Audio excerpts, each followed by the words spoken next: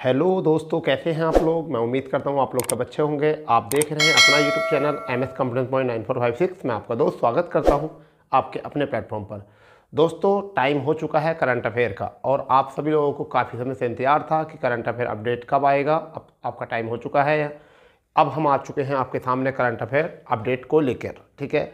तो आज का करंट अफेयर जो है बहुत खास होने वाला है। उस खास होने की एक वजह यह है कि आज ऐसे क्वेश्चंस का हम एनालिसिस करने वाले हैं, जो सीधा आपके एग्ज़ाम में आपको देखने को मिलेंगे। ठीक है? और उसी के साथ साथ हम स्टैटिक जी को भी कवर करेंगे, जो उससे रिलेटेड होगा। तो टाइम को ना बर्बाद करते हुए हम शुरू करते हैं आज का पहला क्वेश्चन ठीक है भाई? आज का पहला क्वेश्चन तो आज का पहला क्वेश्चन क्या है?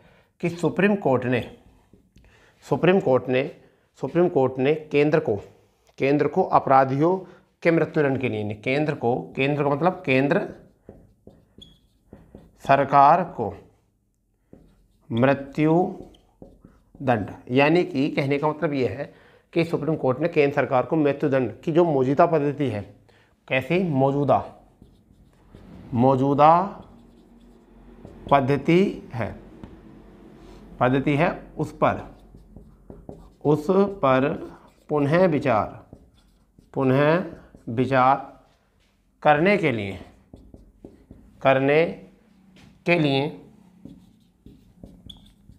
के लिए एक विशेष एक विशेष समिति बनाई। एक विशेष समिति का गठन किया है। यानी कि सुप्रीम कोर्ट ने केंद्र सरकार को मृत्युदंड की मौजूदा पद्धति, मृत्युदंड की मौजूदा पद्धति उस पर पुनः विचार करने के लिए एक समिति बनाई है। मतलब क्या है कि जो मृत्युदंड होता है, जो मृत्युदंड दिया जाता है, उसको कुछ कम कठोर किया जाए, यानी मृत्युदंड की जो पद्धति है, उसको थोड़ा सा कम किया जाए। ठीक है, क्योंकि ऐसी बहुत सारी परिस्थितियाँ होती हैं कि मृत्युदंड देने के लिए एक तरीके से ऐसा लगता है कि जैसे बहुत ज़्यादा तरीके से मतलब उनको प्रताड़ित किया जा रहा हो। अब देखिए, इसमें भी क्या है कि मृत्युदंड में भी क्या प्रताड़ित करना है? जब मृत्युदंड दिया गया तो दिया गया। परंतु क्या होता है कि उसमें भी एक होता है बिल्कुल नॉर्मल तरीके से और एक होता है बहुत टफ तरीके से। यानी कि मृत्युदंड देने से पहले जो उसकी ज़िंदगी होती है, वो पहले बहुत एकदम निर्दय कर देते हैं या उसको सैलिन करते हैं। तो उसके ऊपर थोड़ा विचार करना है। अब देखिए, हम बात करते हैं थोड़ा सा ही ये तो हो गया स्टैटिक्स अब हम सॉरी करंट अब हम बात करते हैं स्टैटिक का। अब मृत्युदंड दिया किस किसमें जाता है? तो अगर मैं आईपीसी आईपीसी की धारा 302 की बात करता हूँ। आईपीसी की धारा 302 की बात करता हूँ। अगर मैं आईपीसी की धारा तीन सौ छियानवे की बात करता हूँ तो दो में तो है मृत्यु। यानी कि अगर किसी की हत्या कर देते हैं, किसी की हत्या कर देते हैं, तब मृत्यु मृत्युदंड मिल जाता है। क्या कर देते हैं? हत्या। ठीक है? तीन सौ छियानवे में जो क्या है तो तीन सौ छियानवे हत्या के साथ डकैती। किसके साथ? हत्या के साथ डकैती। हत्या के साथ डकैती। ये है आपका। ठीक है, दो हो गए। 120 का बी। 120 का बी क्या है? 120 का भी। यह है आपराधिक षड्यंत्र। आपराधिक षड्यंत्र। ठीक है, इसके बाद में अगर हम बात करें 121 तो 121 धारा 121 में जो है वो क्या है? वह सरकार के विरुद्ध। क्या? सरकार के विरुद्ध विद्रोह। विद्रोह। सरकार के विरुद्ध विद्रोह। ठीक है, अगर इसके बात करें 132 समझ गए नहीं? यहाँ से क्वेश्चन आता है 132 में। ये क्या है? विद्रोह का उपागम। क्या है? 132 में। आपका है विद्रोह का उपागम। उपागम। ये है। तो देखिए, इन धाराओं में जो है मृत्युदंड दिया जाता है। यहाँ पर ही एक आर्टिकल आपको याद रखना है। यानी कि संविधान का एक आर्टिकल होता है आपका। संविधान का एक आर्टिकल होता है जिसको हम कहते हैं बहत्तर। तो इसमें जो होता, कौन करता है? राष्ट्रपति। राष्ट्रपति मृत्युदंड को जो कर सकता है, कारावास में कन्वर्ट कर सकता है। तो मृत्युदंड को किसमें कर सकता है? कारावास में कर सकता है। परंतु विश्व में, परंतु विश्व में 110 देशों में, कितना? विश्व में 110 देशों में जो है मृत्युदंड को पूरी तरीके से क्या कर दिया गया है? समाप्त कर दिया गया है। इस तरीके का ये क्वेश्चन था हमारा। तो देख लेंगे। केंद्र ने, यानी केंद्र सरकार को जो है सुप्रीम कोर्ट ने आदेश दिए हैं कि मृत्युदंड की जो मौजूदा पद्धति है उस पर थोड़ा विचार करिए और उसके लिए विशेष समिति बनाई। अब देखिए मृत्युदंड दिया किस किस वो धारा में दिया था आईपीसी के Indian penal code Indian penal code की धारा 302 में हत्या पर दिया जाता है, तीन सौ छियानवे में हत्या के साथ डकैती पर दिया जाता है, एक सौ बीस में आपराधिक षडयंत्र पर दिया जाता है, एक सौ इक्कीस में सरकार के विरुद्ध विद्रोह करने पर दिया जाता है, एक सौ बत्तीस में जमाव के लिए, उपागम के लिए दिया जाता है विद्रोह के। आर्टिकल बहत्तर में राष्ट्रपति क्षमादान कर सकता है, यानी कैसे कर सकता है? जो मृत्युदंड है, उसको क्या कर सकता है? आजीवन कारावास कर सकता है। अगर कर सकता है आजीवन कारावास कर सकता है और वर्तमान में विश्व में 110 विश्व में कितने? 110 देशों में जो है मृत्युदंड को कर दिया गया है, समाप्त कर दिया गया है। ये बात आपको याद रखनी पड़ेगी। ठीक है भाई? तो ये था हमारा पहला क्वेश्चन दूसरे क्वेश्चन की तरफ़ चलते हैं। बहुत बढ़िया तरीके से। हमारा दूसरा क्वेश्चन क्या है? दूसरा क्वेश्चन क्या है? उसको देख लेते हैं। दूसरा क्वेश्चन है रायबरेली। में क्या है? रायबरेली से अटैच है। दूसरा क्वेश्चन देखिए। राय बरेली में हॉकी स्टेडियम हॉकी स्टेडियम, किसकी बात कर रहे हैं? रायबरेली में हॉकी स्टेडियम को। भारतीय स्टार, किसके? भारतीय स्टार भारतीय स्टार, रानी रामपोल, रानी रामपॉल, ठीक है? रानी रामपॉल, ठीक है? रानी रामपॉल को, के नाम पर नाम रखा गया। और उसका नाम क्या रखा गया है? ये पहली महिला है। पहली भारतीय महिला जिनको ऐसा खिताब मिली, ऐसी उपाधि, जैसी ऐसी ख्याति मिली है। कैसी खयाती, ऐसी खयाती मिली है। अब नाम जो रखा गया है उसको क्या रखा गया? रानीज क्या रखा गया है? Rani's girl, Rani's girls hockey. Hockey hockey, Rani girls hockey, turf turf turf ये नाम रखा गया है इसका। स्टेडियम का नाम रखा गया है। Rani hockey girl hockeys turf रखा गया अब मैं आपको बताना चाहता हूँ यहाँ से, इन्होंने 100 सॉरी, इन्होंने 212 मुकाबले खेले 212 मुकाबले। कितने खेले हैं? 212 मुकाबले खेले हैं। और इन्होंने एक गोल करे हैं। कितने गोल करे हैं? एक गोल करे हैं भाई।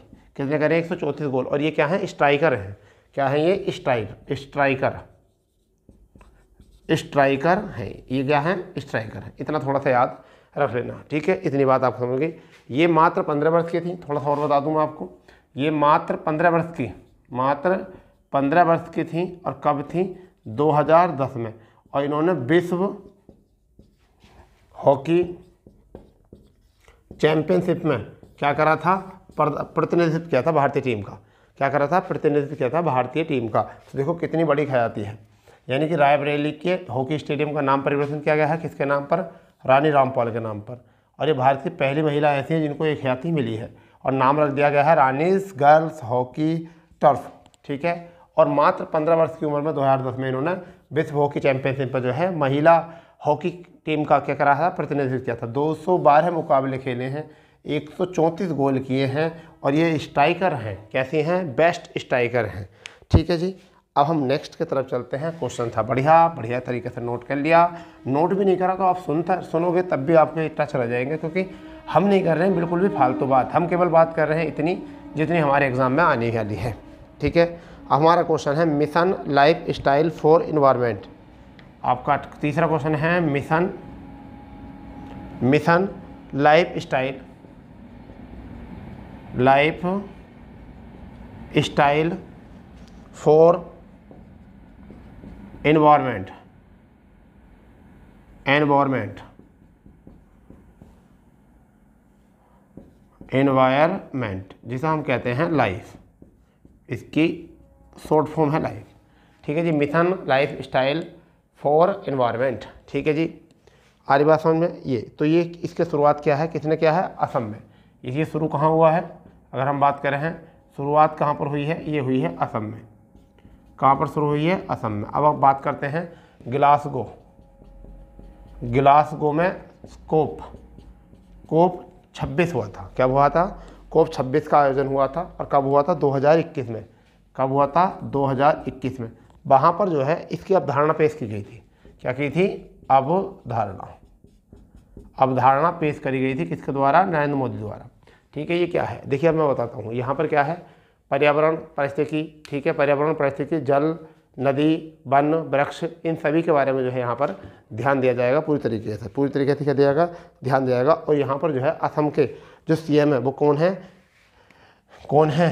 हेमंत हेमंत, क्या नाम है? हेमंत विश्व शर्मा। कौन है? हेमंत विश्व शर्मा। ठीक है, कौन है ये? यह असम के, यह असम के सीएम ठीक है जी तो इनकी निगरानी में ये काम होने वाला है। इनकी निगरानी में काम होने वाला है इतनी बात यहाँ से याद रखना। यानी कि mission lifestyle for environment life किसने शुरू किया गया है? असम में शुरू हुआ है। ठीक है ग्लास को कोप छब्बीस, यानी कि इक्कीस, दो इक्कीस में इसकी अवधारणा पेश की गई थी कि हम एक कोई ऐसा काम करेंगे और हेमंत विश्व शर्मा असम के सीएम के सामने जो है ये वाली बात रखी गई थी। ठीक है, इतनी बात याद रखेंगे। ठीक है? चलिए, हो गया। बहुत बढ़िया भाई। क्योंकि ऐसा होता है, ऐसा होता है जब तक हम हम किसी भी क्वेश्चन को पूरी तरीके से एनालिसिस नहीं करेंगे। जब तक काम चलने वाला है नहीं, क्योंकि अधिकांश ऐसा होता है ना बच्चों को, क्योंकि बच्चे करते हैं, खूब थ्योरी पढ़ते हैं। पत्रिका ले लेंगे उन्हें पता चलेगा नहीं पत्रिका में क्या पढ़ना, क्या नहीं पढ़ना। अरे, काम की चीज़ निकालो। क्यों परेशान हो रहे ज़्यादा काम की चीज़ निकालो ना उसमें से। हाँ भाई, काम की चीज़ें निकालो उसमें साहब चलिए तो शुरू करते हैं नेक्स्ट शुरू क्या है कि तेईस मार्च को प्रत्येक वर्ष। तेईस मार्च को देखिए। तेईस मार्च। मार्च को प्रत्येक वर्ष। प्रति एक वर्ष। क्या मनाया जाता है? शहादत दिवस मनाया जाता है। और किस किस की? भगत सिंह, सुखदेव सुखदेव और राजगुरु। राजगुरु, ठीक है जी। अगर मैं बात करूँ, सुखदेव का नाम क्या है? सुखदेव का नाम जो था, वो सुखदेव थापा। कौन था? सुखदेव थापा। थापा। इनका नाम जो था, पहले क्या लगा हुआ था? इनका नाम था पूरा शिवराम राजगुरु। क्या नाम था? शिव राम राजगुरु। तो देखिए क्या होता है। क्या होता है कि ऐसा होता है, लाल लाजपत राय की होती है मृत्यु। लाल लाजपत की हत्या हो जाती है लाठियों से लगकर। ठीक है, लाठी मारकर जो है साइमन कमीशन के विरोध में लाठियाँ जब सिर पर पड़ती हैं तो उनकी जो होती है, उनकी हो जाती है मृत्यु। और उसका बदला लेने के लिए, उन्हीं का बदला लेने के लिए 1924 में ये आचार्य की स्थापना करते हैं हिंदुस्तान रिपब्लिकन एसोसिएशन की। ठीक है, आचार्य की स्थापना करने के बाद में इनकी क्या होता है sorry H S R A की, किसकी स्थापना करते हैं, एच एस आर ए की। एच एस आर ए की स्थापना करते हैं, हिंदुस्तान सोशलिज्म रिपब्लिकन एसोसिएशन की स्थापना करते हैं और फिर ये सांडर्स की हत्या करते हैं। क्या करते हैं? सांडर्स की सांडर्स की हत्या करते हैं लाल लाजपत की मृत्यु को बदल लेते हैं और फिर असम्बली बम विस्फोट करते हैं आठ अप्रैल उन्नीस सौ उनतीस को। कब करते हैं? आठ अप्रैल उन्नीस सौ उनतीस को। तो आठ अप्रैल उन्नीस सौ उनतीस को क्या करते हैं? बम विस्फोट बम विस्फोट। और वो ये बोलते हैं कि ये ब्रिटिश सरकार के बहरे कानों को सुनाने का एक हमारा तरीका है, ठीक है? अब बात करते हैं यहाँ पर कि सांडर्स की मृत्यु करी उन्होंने किसकी? सांडर्स की हत्या। सांडर्स की हत्या की वो बेचारे अपनी वो बेचारा अपने इंगेजमेंट में जा रहा था, ठीक है? ठीक, वो कहाँ जा रहा था? इंगेजमेंट में जा रहा था। परंतु दुख की बात ये थी, दुख की बात ये थी कि भगत सिंह भगत सिंह का उनके एफआईआर में जिसमें जो जो उनके नाम की एफआईआर थी तो उसमें जो था, भगत सिंह का नाम नहीं था, परंतु बेचारे भगत सिंह को जो है बेगुना होने का कोई मौका ही नहीं दिया। क्या नहीं दिया? बेगुना होने का कोई मौका नहीं दिया। तो समझ गए नहीं? फिर इसे कहते हैं, हम क्या कहते हैं? लाहौर षड्यंत्र। क्या कहते हैं?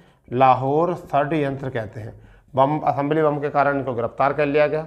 इनको कर लिया? गिरफ़्तार कर लिया गया और इनको 23 मार्च 1931 को कब? 23 मार्च 23 मार्च 1931 को इनको क्या दे दी गई? फांसी दे दी गई। ठीक है? इनको क्या दे दी गई फांसी। इन्हीं की याद में जो है, ये तेईस मार्च को हम मनाते हैं। ठीक है, वहीं गांधी जी को शहीद दिवस के रूप में जो मनाते हैं, वो तीस जनवरी को मनाते हैं। ठीक है, यहाँ जो शहीद दिवस मनाते हैं, वो मनाते हैं तेईस मार्च को। इसमें कौन समर्पित होते हैं? भगत सिंह, सुखदेव और राजगुरु होते हैं। ठीक है भाई तो ये क्या हुआ? उन्नीस सौ चौ उन्नीस सौ अट्ठाईस में किसकी स्थापना की? एच एस आर ए की स्थापना की। फिर इन्होंने सांडर्स की हत्या करी। इस अट्ठाईस में, उन्नीस सौ अट्ठाईस में क्या करी? सांडर्स की हत्या करी। उन्नीस सौ अट्ठाईस में ही सॉरी उनतीस में क्या करें? इन्होंने लाहौर से ने क्या करा? असम्बली, बम विस्फोट किया उनतीस में और इनको फिर वहाँ गिरफ्तारी मिल गई और फिर बाद में क्या हुआ? तेईस मार्च उन्नीस सौ इकतीस को इनको क्या कर दी?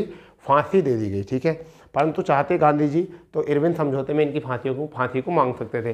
अंत इसके ऊपर हम एक अलग से वीडियो बनाएँगे कि फांसी क्यों नहीं मांगी गई, क्यों नहीं किया गया? गांधी जी की एक थोड़ी सी बात ये थी कि गांधी जी ने अपने एक इंटरव्यू मतलब एक अपने सेशन में बताया था। जब उनसे बात करी गई वहाँ की जनता से तो उन्होंने कहा कि गांधी जी जो है वो सॉरी, भगत सिंह जो है, मैंने उनसे बात की, मगर भगत सिंह राजगुरु सुखदेव जो है, ये अपने जीना ही नहीं चाहते थे। उसका रीज़न ये था कि वो ये चाह रहे थे कि यदि एक माँ का लाल, एक माँ का लाल अगर आज थोड़े से प्रॉब्लम में चलते और वो बचकर आ जाता है वहाँ से तो बहुत युवा जो पीढ़ी है, वह भारत में जो है, भारत की क्रांति में जो है हस्तक्षेप नहीं करेंगे। कुछ उनके दिमाग में ये चल रहा था। ठीक है भाई? चलिए, इतनी बात आ गई होगी समझ में। थोड़ी थोड़ी बात करते रहो और उसी के रिलेटेड जो है स्टेटिक भी देखते रहो। ठीक है? अब हम बात करते हैं विश्व मौसम विज्ञान दिवस। क्या करते हैं? विश्व मौसम विज्ञान दिवस की बात करते हैं। क्या करते हैं? विश्व मौसम विज्ञान दिवस। विज्ञान दिवस। विश्व मौसम विज्ञान दिवस प्रत्येक वर्ष कब मनाया जाता है? वो मनाया जाता है तेईस मार्च को। तेईस मार्च को। विश्व मौसम विज्ञान जो संस्था है, क्या है? विश्व मौसम विज्ञान विज्ञान संस्था, संगठन, क्या है? विश्व, मौसम, विज्ञान, संगठन। संगठन, ठीक है जी? इसका जो मुख्यालय है हेडक्वार्टर जो है, वो हेडक्वार्टर कहाँ पर? जेनेवा में। कहाँ पर है? जेनेवा में। ठीक है, इसकी स्थापना जो की गई थी, वो कब की गई थी? तेईस मार्च 1950 को कब की गई थी? तेईस मार्च 1950 को की गई थी। तेईस मार्च 1950 को की गई थी, ये बात अपने दिमाग में रखना। इनके जो इनके जो इनके जो अध्यक्ष हैं, वो हैं गेर हार्ड कौन है इनके अध्यक्ष? अध्यक्ष कौन है? गेर हार्ड गेर हार्ड ये इनके क्या हैं? अध्यक्ष हैं। इतनी बात यहाँ था होगी क्लियर। अगर हम बात कर रहे हैं तो इसकी थीम की। अगर हम इसकी बात करते हैं, थीम की, कई बार थीम भी क्वेश्चन में पूछ ली जाती है। तो देखो, थीम आप लिख लेना। इसका है जनरेशन के साथ मौसम। जनरेशन के साथ मौसम। भैया, ये तो करंट अफेयर तो सबको तैयारी करना पड़ता। है जलवायु और जल का भविष्य। जलवायु और जल का भविष्य। जलवायु और जल का भविष्य। जल का भविष्य, ये इसकी थीम है। तो ये आपको हो गया यहाँ से क्लियर ठीक है भाई, यहाँ से आपको हो चुका है, बिल्कुल क्लियर आपको मैं मानता हूँ कि समझ में आ गया होगा पूरी तरीके से। ठीक है? आपको समझ में ये चीज़ आ गई होगी। क्लियर चलिए। नेक्स्ट करते हैं नेक्स्ट नेक्स्ट क्या है? नेक्स्ट क्या है? स्वनिर्मित अरबपतियों की लिस्ट क्या हुई है? स्व निर्मित अरब पतियों की लिस्ट लिस्ट जो है वो जारी हो गई है। क्या हो गई लिस्ट जारी हो गई है। ठीक है जी? और भारत जो है उसमें कौन से नंबर पर है? भारत जो है, भारत ने स्थान लिया है तीसरा। भारत ने कौन सा स्थान लिया है? तीसरा भारत ने स्थान लिया है। तो पहले नंबर पर कौन है? अगर हम बात करें तो पहले नंबर पर है चीन। पहले नंबर पर चीन है। यहाँ कितने व्यक्ति हैं? वो हैं आठ सौ इक्यानवे अरबपति। क्या है? आठ सौ इक्यानवे अरबपति। अरबपति। दूसरे नंबर पर क्या है? यूएसए। दूसरे नंबर पर क्या है? यूएसए। यहाँ पर कितने हैं? अरबपति। चार सौ छियानवे। कितने हैं? चार सौ छियानवे। कितने भाई? चार सौ छियानवे अरबपति हैं। अगर हम बात करें पूरी दुनिया का, यानी कि विश्व का, अगर हम बात करें विश्व का, तिरपन प्रतिशत है। ये विश्व का कितना है? तिरपन प्रतिशत अगर यहाँ ही भारत की बात करें तीसरे नंबर पर, अगर यहाँ बात करें भारत की तो भारत में कितने अरबपति हैं? तो एक सौ पाँच। कितने अरबपति हैं? एक सौ पाँच अरबपति हैं केवल भारत में। कितने अरबपति हैं? भारत में 105 अरबपति है मात्र। अब आप ये देखिए कि यहाँ पर क्या स्थिति है। क्या स्थिति है? अब ये इसे जारी कौन करता है? हुनर ग्रोवर। कौन करता है जारी? जारी करता कौन है? जारी करता कौन है? हुनर global rich list. Rich list, ये जारी करता है। ठीक है भाई तो इतनी बात यहाँ था आपको समझ में आ जानी चाहिए, बिल्कुल। यानी कि स्वनिर्मित अरबपतियों की लिस्ट जारी हुई है। भारत तीसरे नंबर पर है, चीन में आठ सौ इक्यानवे अरबपति है। ठीक है यूएसए में पाँच, चार सौ छियानवे, अगर दोनों को मिला दिया है तो विश्व का तिरपन प्रतिशत बैठ जाए, बैठ जाते हैं। अब भारत में एक सौ पाँच अरबपति हैं, और जांचकर्ता जो है वो कौन है? वो है, जारीकर्ता जो है वो होनर ग्रोबर रिच लिस्ट ठीक है, इन्होंने इसको जारी किया है। क्लियर इतनी बात? ठीक है भाई। बताइए, क्लियर? बहुत बढ़िया। ठीक। जब तक जब तक आप इसको पूरी तरीके से करोगे नहीं, जब तक आप इसको पूरी तरीके से समझोगे नहीं, जब तक बिल्कुल बात बनने वाली है नहीं। तो अब देखिए क्यू एस रैंकिंग आ गई है। क्या चुकी है? क्यू एस रैंकिंग यानी कि क्यू एस रैंकिंग रैंकिंग और ये क्या होती है? विश्वविद्यालयों की रैंकिंग होती है। किसकी होती है? विश्व, दुनिया के शीर्ष। यानी कि दुनिया के शीर्ष संस्थानों की। संस्थानों में, पचास में कौन आ चुका है? दिल्ली। दिल्ली ने अपना स्थान बनाया। अपना स्थान बनाया। दिल्ली ने अपना स्थान बनाया पचास में। ठीक है भाई, दिल्ली ने क्या बनाया? अपना स्थान बनाया पचास में। ये सब्जेक्ट वाई है, क्योंकि क्यू एस जो होती है वो सब्जेक्ट वाई होती है और डायरेक्ट जो होती है उसमें बेंगलोर ने स्थान बना रखा है। ठीक है? तो अब अगर यहाँ बात करें सूची में तो कौन सा संस्करण है ये? क्यू एस रैंकिंग का कौन सा संस्करण है? तेरहवा संस्करण है। तेरहवा संस्करण है। ठीक है भैया, तेरहवा संस्करण है। अगर हम बात करें इसमें नेक्स्ट में अगर बात करें आईआईटी बॉम्बे अगर हम बात करें आईआईटी बॉम्बे आईआईटी बॉम्बे की बात करें तो कौन सा स्थान है? वो 92 स्थान है। ठीक है, अगर हम बात करें आईआईटी आईआईटी अगर हम बात करें कानपुर की कानपुर की तो सतासीवा स्थान है। ठीक है, अगर यहाँ पे करें आईआईटी खड़गपुर की। खड़गपुर। खड़गपुर की अगर हम बात करें तो यहाँ पर स्थान जो है खड़गपुर का वो 94 है। कौन सा स्थान है? 94 अगर हम बात करें यहाँ पर मद्रास की तो आईआईटी मद्रास की। अगर हम यहाँ से बात करें आईआईटी मद्रास की तो यहाँ बात है 98 की। ठीक है जी? तो ये आपका दो, तीन, चार तो सौ में जो है, ये शामिल हो चुके हैं इतनी। ठीक है भाई? ये आप, आपने बिल्कुल अच्छे तरीके से याद रख लेना, ठीक है? क्लियर बताइए। चलो, कोई बात नहीं। इतना इतना लिखते रहो, बहुत इससे थोड़ा सा रिवाइज हो जाएगा आपका, और कुछ नहीं होने का। थोड़ा सा रिवीजन हो जाएगा, और कुछ नहीं यहाँ से। ठीक है? अब हम बात करते हैं भारत का लक्ष्य 2030 तक। यानी कि भारत का लक्ष्य 2030 तक। क्या है वो लक्ष्य 2030 ग्लोबल हब फोर क्या है भाई? Global hub for global hub for green ship निर्माण ग्रीन शिप निर्माण यानी कि हरा जहाज़ बनाने का निर्माण है 2030 तक। ठीक है? जिससे ज़ीरो प्रतिशत कार्बन होगा। कैसा होगा? ज़ीरो प्रतिशत कार्बन होगा। और राष्ट्रीय ग्रीन पोर्टल यहाँ पर, ये यह कहाँ पर खोला गया है? राष्ट्रीय ग्रीन पोर्टल। ग्रीन पोर्टल एवं राष्ट्रीय ग्रीन पोर्टल एवं शिपिंग की स्थापना। शिपिंग की स्थापना कहाँ पर की गई? गुरुग्राम में। गुरुग्राम यानी कि हरियाणा। कहाँ पर की गई है? हरियाणा में की गई है। गुरुग्राम, हरियाणा में। ठीक है भाई? इतनी याद रख लेना। अब केंद्रीय बंदरगाह शिपिंग जलमार्ग के जो मंत्री हैं, यानी कि कौन है? जलमार्ग बंदरगाह व आयुष मंत्री। आयुष मंत्री। कौन है? सर्वानंद सोनेवाल। कौन है भाई? सर्वानंद सोनेवाल। सोनेवाल।